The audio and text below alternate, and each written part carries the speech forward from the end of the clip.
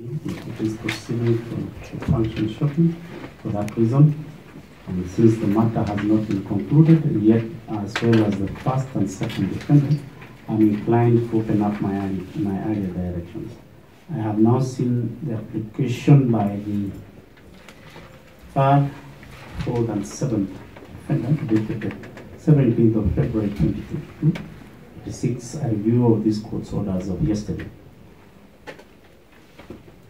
let the application be served for consideration by the other parties.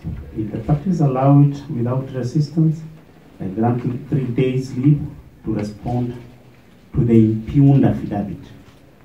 If not, the application will be the first be heard.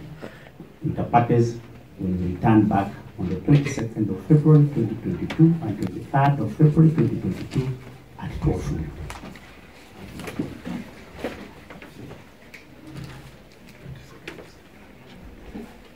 farewell. Thank you for the day.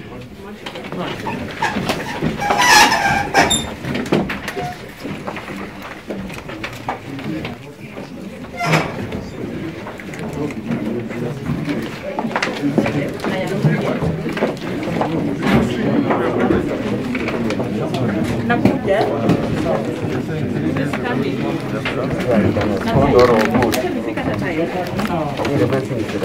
будет.